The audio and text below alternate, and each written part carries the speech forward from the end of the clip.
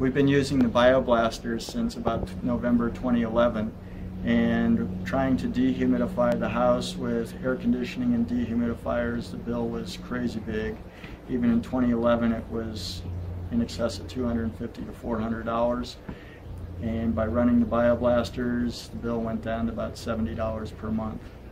So we're quite happy. The maintenance is relatively low and uh, gets the job done. We've had BioBlaster homes for since 2012.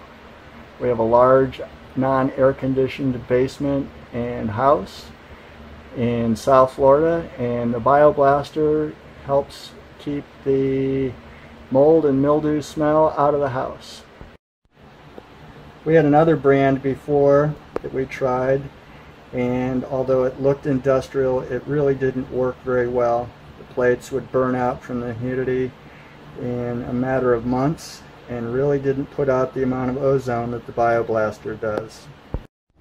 We also have rental apartments and on occasion we've had to use the bioblasters uh, to get the smell out uh, from smoking or pets or so forth. We even had a cat get into our house and urinate on a brand new bedroom carpeting and it did amazingly well.